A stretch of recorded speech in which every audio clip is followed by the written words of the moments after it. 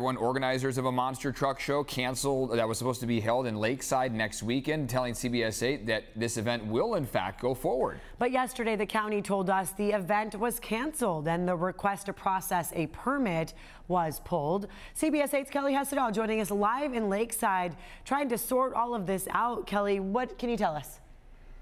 Yeah, and I can tell you guys there is still a lot of confusion about all of this, uh, but I want to introduce you to my new friend Phoenix. He is a Mustang. Uh, he is very sweet. Now, as far as the organizer goes, I talked to him this morning and he told me this event is going forward. He said there's going to be an announcement this afternoon, but it's unclear exactly if it's going to happen in the original location or if it's going to be held somewhere else. Uh, but in the meantime, I can tell you that uh, horse owners, uh, those members of the horse community, say this is about protecting the animals.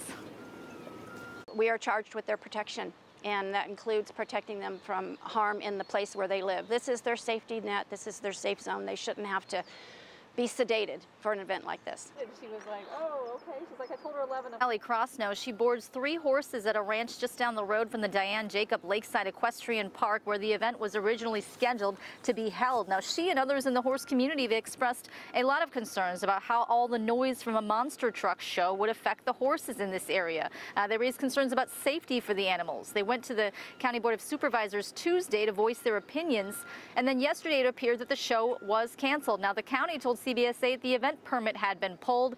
However, I called the organizer this morning because I noticed tickets were still on sale on its website, and that's when I was given the news the show is still going forward. So at this point, it is just unclear exactly where. Back out here live, you know, those in the horse community.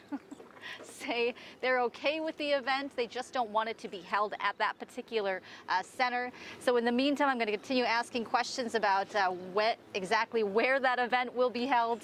And I will bring you an update uh, later today. I'm going to send things back to you.